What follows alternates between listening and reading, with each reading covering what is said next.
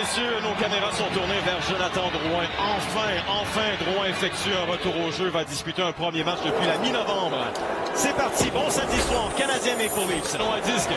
Danon en derrière pour Petrie. En déplacement. Petrie à Danon. Le tir arrêt de Campbell.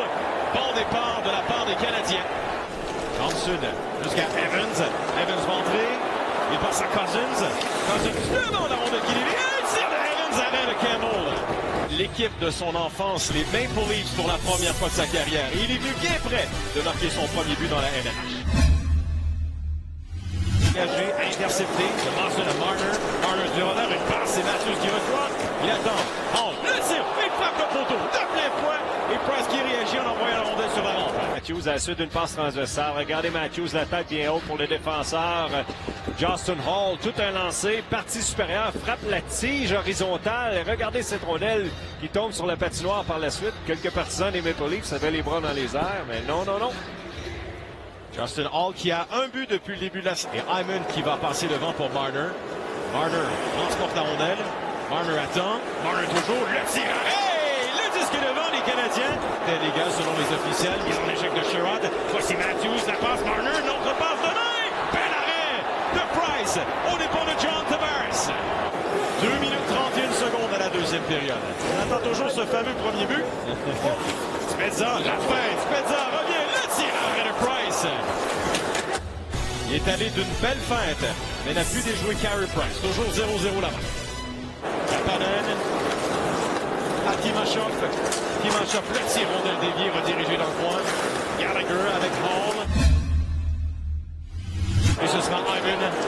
Il veut relancer l'attaque sur un 3 contre 2. Kerfoot à la rondelle. Laisse derrière Tavares. Le Nico.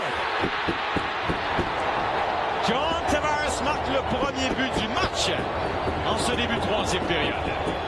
Dans un premier temps, les Canadiens ont eu une opportunité à l'autre bout de la patinoire, mais on est allé très profond. Ça donne un surnombre 3 contre 2. On pourrait même dire 4 contre 2 au Maple Leafs de Toronto. Et John Tavares qui, connaît, qui continue sur sa bonne séquence, lui qui a marqué le but en prolongation hier face aux Ducks. C'est lui qui va inscrire le premier dans ce match. Cousins passe à Evans. Evans sur la rampe. On envoie derrière. Kulak tire de. La rondelle est bloquée par Gauthier. Petrie. Le tir bloqué. Très long retour nouveau, c'est Kulak. Et l'autre tir. On débloqué. Cousins devant. Arrêt de S'est réveillé en quelque sorte. Du moins, ce qu'on fait bien, c'est qu'on envoie des rondelles au filet. Même si ça provient du point d'appui, il y a de la circulation, il y a des joueurs devant. Jack Campbell, c'est peut-être les, premières menaces qu'on voit de la part du Canadien. Était en déplacement.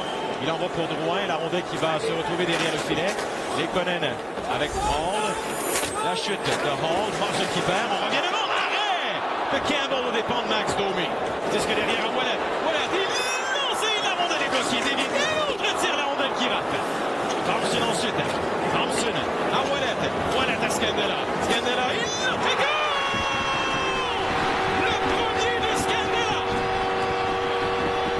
C'est toute une performance qu'il a offerte ce soir jusqu'à présent. Et regardez, il va profiter du travail de Nick Suzuki qui va utiliser, ça va être un écran. Il y a lui, il y a Hall directement devant le gardien de but et Scandella. Regardez la réaction, regarde vers les partisans, les bras dans les airs, s'élève de belle façon.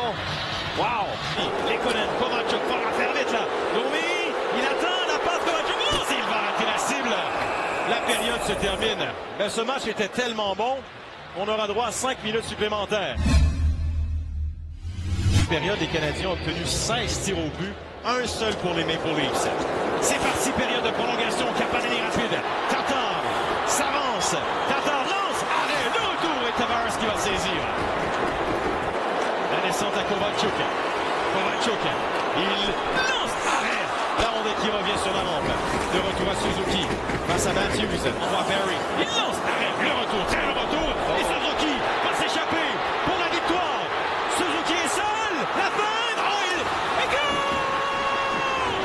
Kovalchuk, c'est terminé! Victoire des Canadiens! Grand merci d'un à Carey Price qui devrait obtenir une mention d'aide sur le but. C'est lui qui pousse cette rondelle vers Suzuki. La manœuvre de Suzuki, l'excellent jeu du gardien Jack Campbell, mais regardez qui suit. C'est Kovalchuk qui va marquer encore une fois en prolongation. Regardez le but, regardez la réaction et la foule vraiment